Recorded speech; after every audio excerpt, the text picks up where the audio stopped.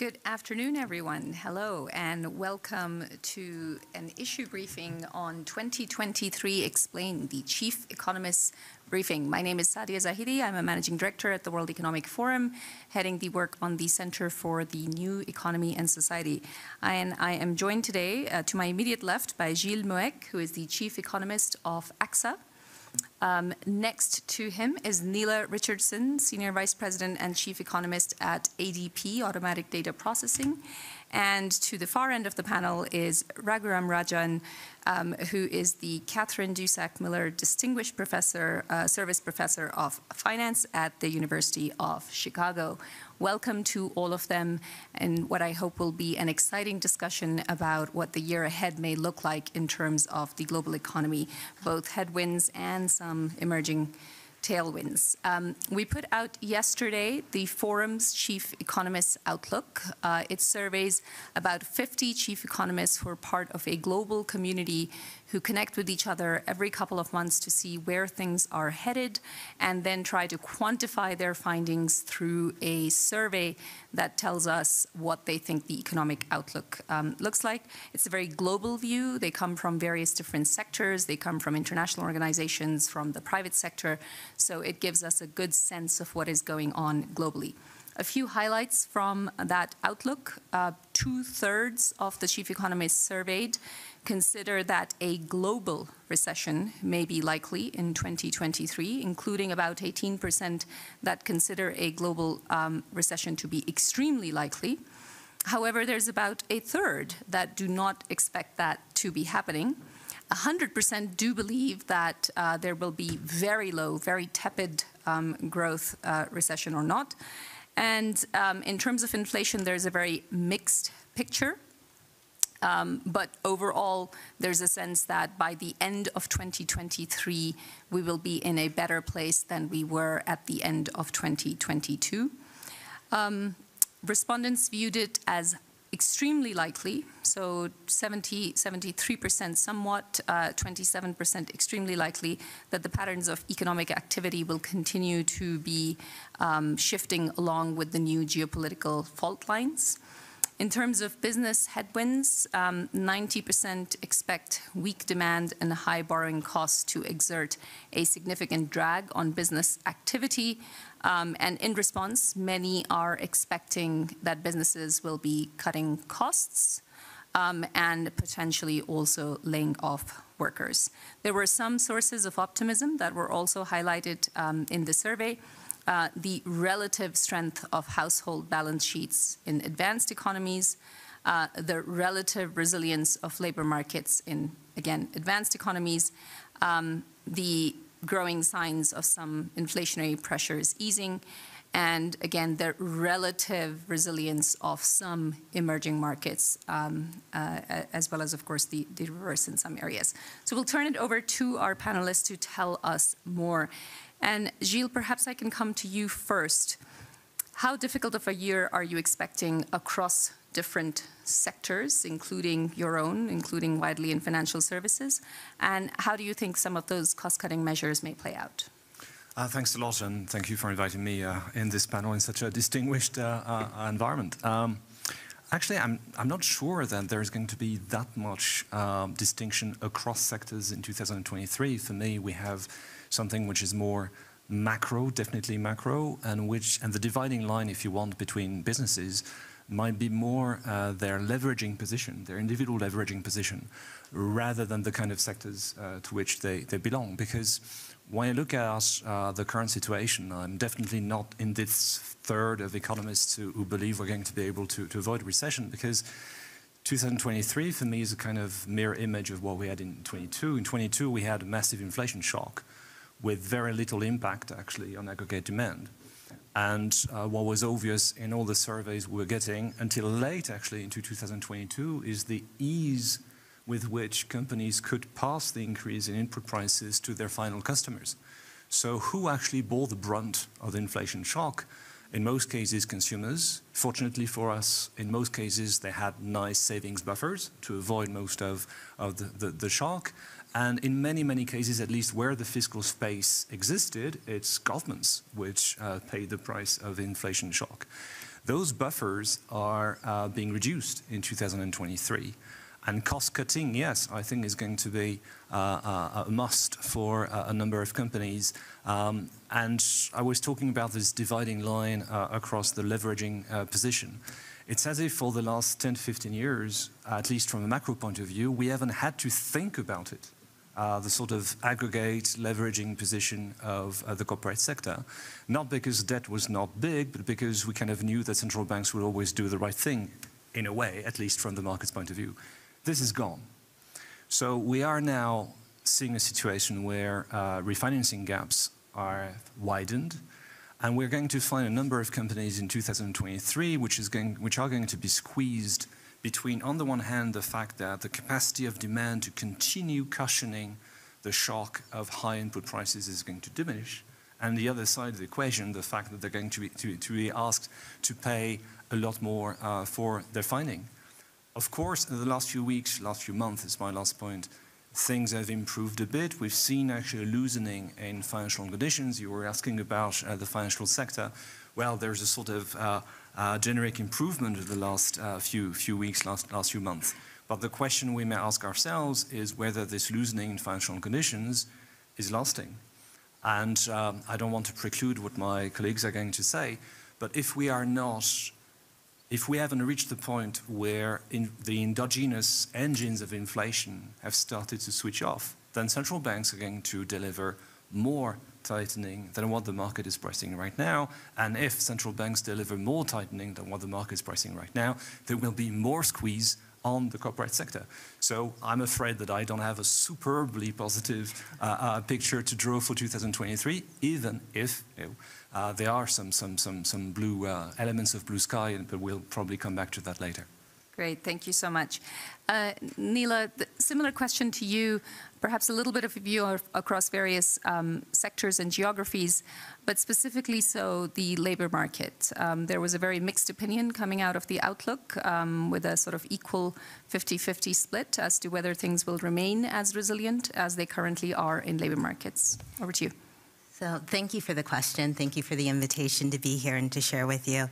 You know, we sit at ADP paying about 40 million workers, and so we have a very strong perspective on wages. And what's important about these resilient labor markets in the context of higher inflation is that historically it was the labor market in which uh, central bank policy was delivered. And there's this narrative out there that the way to get an attack in inflation is through two ways, housing or labor markets. Unfortunately, neither is playing along right now. Labor markets, and I'll stick to labor markets for your question, are incredibly resilient in many advanced economies, certainly in the United States.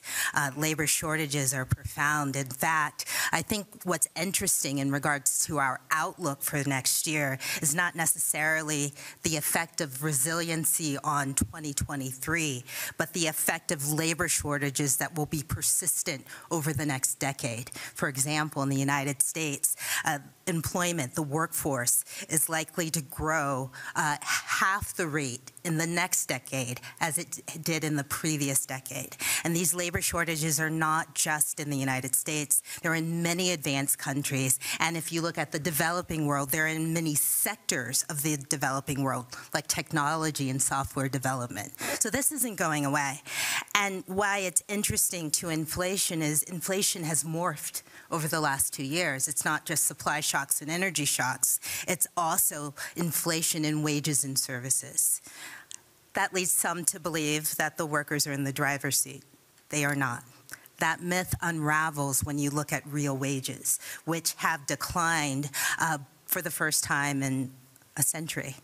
Uh, so we're looking at a worker who is feeling the conflation of many things in the global economy higher, and in my view, more persistent inflation, though moderating, higher than our baseline going into the pandemic. Slowing, slower growth economy, multiple geopolitical risks, and climate change, all affecting the worker. And then for, for the worker to stay in a relatively resilient position, it means robust wages. That means central banks don't get to use the labor market uh, and the pain to the worker as a tool for inflation containment. Uh, workers, I, I think wages uh, stay relatively robust, but unfortunately may not keep up with inflation. So it's really a, a race. Will inflation moderate first? or will wages moderate first? And in every country, that race will be won by a different actor. Um, in my view, in the US and in many advanced countries, I think it's a dead heat. it's a tie. But in some places around the world, workers will continue to lose ground to this cost of living crisis. And I think that's a concern not just for this year, but for several years to come. Thank you, Nela. Um, Raghu, what, what are policymakers to do in this situation? That's the um, $64 trillion question, right? I, I think, uh, as uh, Nela just said, look, um, policymakers at this point are looking at labor markets and trying to see, certainly central bankers are looking for some labor market slack to give them confidence that they can pause. The problem, of course, is every time there's a hint that they may pause, uh, financial markets take off and financial conditions become easier. And so uh, at this point, I think many central banks are saying we can't pause until we actually see the labor market slack. And that's going to take them quite a ways into tightening. Uh, and here the problem really is that, uh, you know, there could be cliff effects here. Um, people aren't laying off workers because they fear uh, it'll be very difficult to hire them back. They've just been through a period where it was very difficult to hire. And they're saying, well, maybe let me wait and see. And the problem is, once you see others uh, laying off workers, then you may say, oh, there's enough slack, let me also lay off, and you get a much bigger downfall in employment than the central bankers want. That's one. But Nela also talked about the housing sector. And there also, what you see in the US certainly is there are no sales going on, but prices haven't dropped. And part of what's going on is nobody wants to sell their house because they can't buy a house at these high mortgage rates. But once people are forced to sell because they lose their job, then you might see prices dropping. And so then you see the downturn in house prices and everything else that accompanies that. So the worry is central banks will have to go further than, than they would ideally like to, just to make sure they've, it's once and done. But if they do go further, there's the risk of these cliff effects, which means we go from a mild to a not so mild recession. And of course, last point to uh, Gilles' point, a lot of firms extended maturities during the, during the pandemic. And that was partly because you didn't know how long this was going to last. Let me push out my debt and central banks have made it easy to get really long-term debt. But a number of companies couldn't, the riskier companies. There have been very few bankruptcies during the pandemic. Those guys are going to start showing up. Eventually, the guys who pushed out their maturities also, if their businesses aren't doing well, will start showing up. So once again, things will start showing up over time, not just now. Now, is it all doom and gloom? Not necessarily. Uh, I mean, there are, you know, if Mr. Putin decides to end this war, fantastic. Then uh, there could be a lot of upside. China, uh, its recovery could be a potential upside for the global uh, economy. Uh, and we can talk about others, but, but I will say that uh, at this point, central banks will probably go a little further than they want to because uh, they don't see the effects of their actions. And, and do you think that lag would still lead to that potential um, cliff happening within 2023, which is what we're focused on here today, or do you think it's further out? No, I, I, would say uh, it would be surprising to me that we wouldn't see a pause sometime in 2023. I mean, of course, the labor markets are betting not just a pause, but actually a cutting of interest rates. I think that's overly optimistic at this point. But, uh, but certainly a lot of the action will happen this year because we still have 12 months to go. Okay, thank you. We're about halfway through our session. I'm going to open it up to just a couple of questions from the audience. Um, please state your name and move immediately to your question. Um, and that will keep us moving along in this discussion, uh, which is fairly brief. Any questions? Could we give a microphone to the gentleman?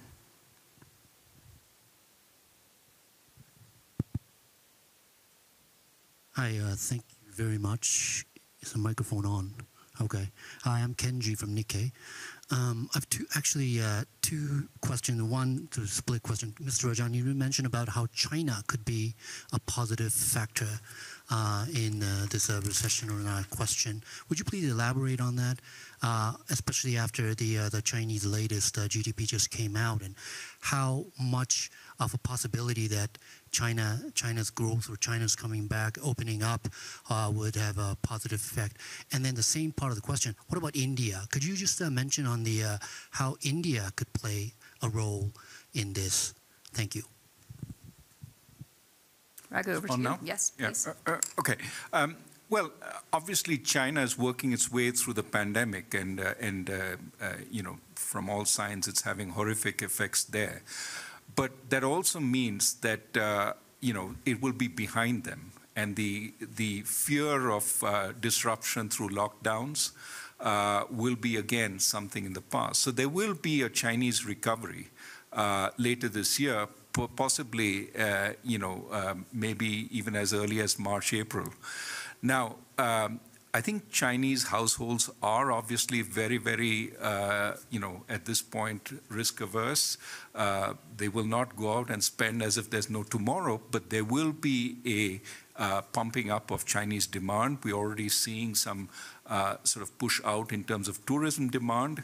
Uh, that will help the global economy in sustaining demand. The question, of course, is how inflationary will the Chinese recovery be?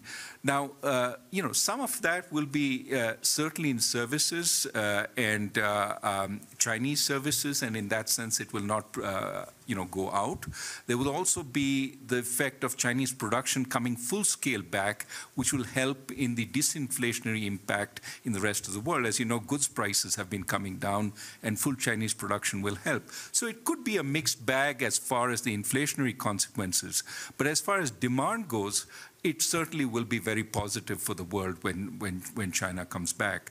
As far as India goes, uh, I think the uh, you know India is trying to uh, strengthen the growth of its economy. You're seeing uh, a fairly strong uh, push up in India's service exports at this point, and it could do far more.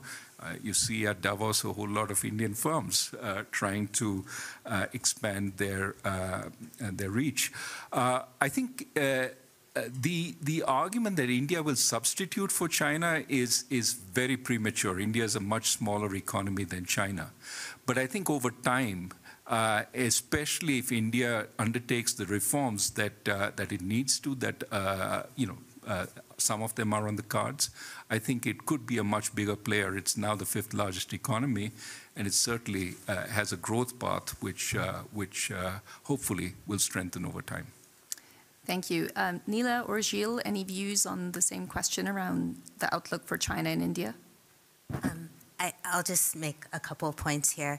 It, it, I totally, I think what you, the answer you, you just received is a very fulsome one. The, the only others uh, that I'd add on is there is an indirect effect of China's recovery in, in that its role as a, a, passageway to other parts of the Asian world. So it's not just about selling and buying to China, it's about selling and buying through China and how that effect spills over to uh, the APAC region in its entirety. And I think that important trade function um, and facilitator function does impact and could be part of the global growth story. Um, secondly, I, I'm excited by India's uh, resilience and a lot of uh, domestic challenges uh, and global challenges that uh, the world is grappling with. And I think uh, not perhaps in 2023, but I do agree with the comment that they provide uh, in future years uh, a really good platform for global growth in the future. And when I look at India, especially the skilled workforce and the tech sector is where I would point to as someone who's looking at segments of the working population around the world. There's some real big bright spots there. Um, I'll add Brazil really quick, even though that's not part of your question, in terms of tech hub bright spots that could lead to uh, future platforms for worker growth and skill development. Gilles? Yeah, just a point maybe on the timing horizon for China, because uh, yes, the reopening obviously is going to be a positive force down the road, and Q4 2022 might have been the bottom. Uh, but for the time being, China is experimenting with something we haven't seen in actually in a lot of other countries, which is reopening while still having quite a lot of pressure on the healthcare system. So uh, we need to uh, take a bit of time, maybe for the next few months, to see exactly how domestic demand in China is responding to this very unique situation. Thank you. Question here? Um, my name is Thomas Seifert from Wiener Zeitung, an Austrian daily newspaper published in Vienna. Uh, my question is a more general one, but of course already happening in 2023.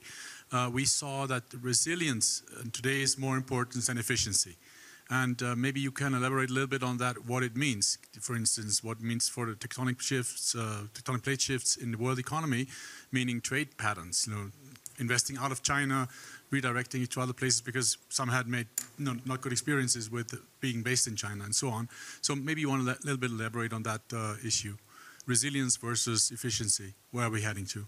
Thank you so much. Okay, which one of you would like to start with that question? Um, I, I can take a, uh, you, go ahead. Okay, uh, I'll be brief. Um, I, I, think it's no longer a choice between resilience and efficiency. Resilience won that argument during the pandemic. Um, uh, over the 10 years that preceded the pandemic, there was a lot of easy choices for companies and central banks. Of course, extend your debt maturities. Of course, borrow. For central banks, you could have really low unemployment rates with 2% target inflation. Of course, maybe even negative inflation. No, no harm, no foul there. And then when it came to supply and trade, you were able to have just-in-time inventory without a risk. I think those days are over. I think if you look at even climate and its impact on the supply chain, workers and people shocks and labor shortages. It wasn't just about producing goods, it was get the, getting them off the boat and onto a truck. There weren't skilled workers or or even unskilled workers to do that. So all of this added up together means that we're not in a world of nirvana efficiency. we are in a world in which the only hope is through resiliency. Raghu? Well, I, I, I entirely agree with that. Uh, I think uh, firms are coping in, in, in maybe four ways. One, they're building buffers, more inventories rather than uh, just in time, just in case inventories. Diversification. Uh, they are, uh, everybody is looking for a China plus one, China plus two strategy. Uh, not moving at this point but just in case we have to move, and let's start situating some production there that we can ramp up if there need be. Uh, flexibility is a third one, which is, do I need every part as is, or can I innovate around some part? So for example, when there was a chip shortage, Tesla sort of reprogrammed so that it could use different chips from the ones it normally bought. So that flexibility people are trying to build into their supply chains. But I think the fourth is perhaps the most intriguing. They're trying to plan for worst case scenarios. What happens if right? And we all know what those worst case scenarios are. And so my sense is certainly companies are very much more aware of what they need to do. In terms of movement on the ground, very little as of now. You don't see it. But if in terms of what next, uh, in terms of investment, it's fully on their minds. It's not going to be the same old investments as in the past. Gilles? Yeah, it's just a, a quick point on this, which is that uh, I would not want to leave the impression that this is a free lunch. the shift uh, from efficiency to uh, resilience comes with a cost, and the cost might be actually structurally high inflation. Uh, we should not forget that. We managed to kill inflation in the 1980s, yes, because of you know, Paul Volcker and monetary policy, but also because we opened up our economies massively. It was the beginning of globalization. If we actually get into some form of deglobalization, which seems to be the case, even if we have to be to be circumspect. Circumspect, sorry. There's a price to pay, and I was uh, intrigued last year to see that at some point, at least, it seems that the U.S. administration hesitated with possibly repealing some of uh, the custom duties which had been uh, levied on on Chinese products, simply because the U.S was in the middle of a major struggle with inflation. Uh, and these two uh, uh, uh, issues are, are, intertwined. And I'm also intrigued by how, in the current message we get from central banks, this idea of deglobalization is used as an argument to go, as Raghu was saying, maybe a little bit too far in their quantum of tightening because it's one of the sort of structural forces which may help them to say, look, you know, inflation is not going to re return to 2% easily. Okay, thank you. I'll take one final question here at the front. We'll keep the question and the responses very brief um, because there's a final round of comments we'd like to fit in in the next few minutes. Okay, thanks so much. It's uh, Fifi from uh, CNBC Africa. Could I just get the panel to uh, comment on the color of recession that uh, you are uh, forecasting, just in terms of how deep it is and how uh, long it does last? And also, against that backdrop, what does the outlook for the continent look like, just given that a lot of the economies on the continent are still expected to grow? Grow. Who would like to start with that? How deep is this recession likely I can, to be? I can start. I've been very grumpy so far, so I'm going to be uh, a, bit, a bit positive. Um, uh, we have a very shallow recession, actually. That's our uh, main expectation. Um, one of the reasons being that uh, we have a number of catastrophes that did not materialize. Uh, if I focus on Europe, for instance, three, four months ago, uh, the consensus view there was that we might have to deal with a sudden stop in our energy supply. That did not materialize. It, you know, it's early days. We still have a few more weeks of winter ahead of us, but so far we are avoiding this sort of, of, of deeply uh, um, unpleasant uh, scenario. Another thing which makes us believe that a shallow, a shallow recession is on the cards is that, at least in the US, uh, the central bank is in control of things. To some extent, what we're facing is sort of engineered recession. It's something that the Fed wants to do. Same thing, if things get out of control, if uh, the recession gets too deep, uh, the Fed has the power to reverse uh, quite a lot of that, uh, that power. So shallow recession only. Great. I'm, I'm going to agree with you since you're at the forefront of pessimism, but um, I, I would just point out that I do think that the recession would be shallow in most parts of the world, not every. And I, but what would be persistent is slow growth. And that's really, uh, in my mind, even worse than recession because slow growth can last for a very long time.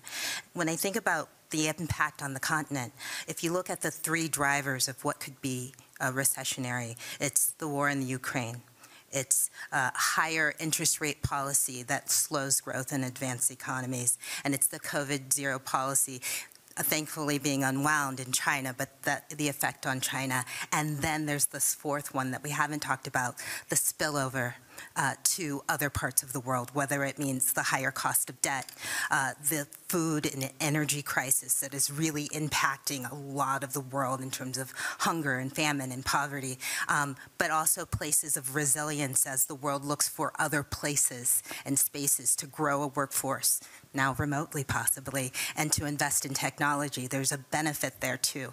So uh, near term, some of these risks are a spillover.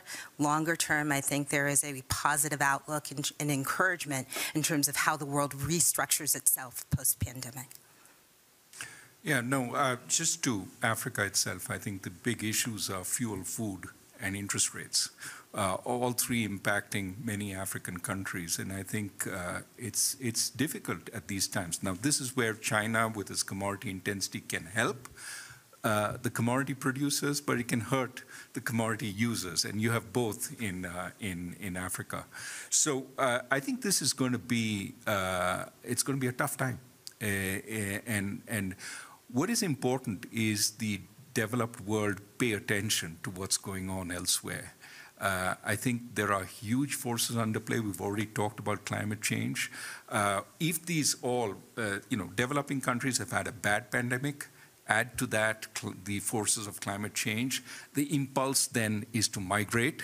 And of course, there's very little sort of uh, receptivity to migration in industrial countries. So we have a very volatile mix. And that's why it's very important to pay attention to what's going on and to help where possible, perhaps with, uh, with financial, uh, through financial means. Thank you. We have a minute, and I'm going to ask each of you very, very briefly to tell this room um, the silver linings. Wh- Where are the bright spots in 2023? Some of you referred to those already. If you could just have a quick recap of what those are. Raghu, perhaps with you first. Well, I think technology is going to be the source of bright spots if we use it well.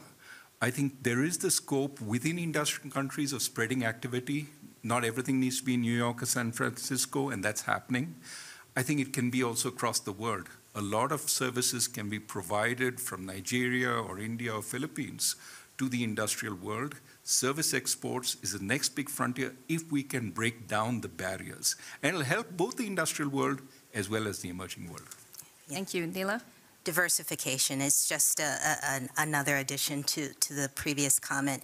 Diversifying supply chains, diversifying a workforce, diversifying a skill set, and thinking of the globe as a mosaic in which to draw from. I think that is a silver lining, and it wouldn't have been possible without having this horrific uh, event of the pandemic that caused people to rethink business as usual. And I think that's where you're going to see the excitement come um, in terms of the global economy.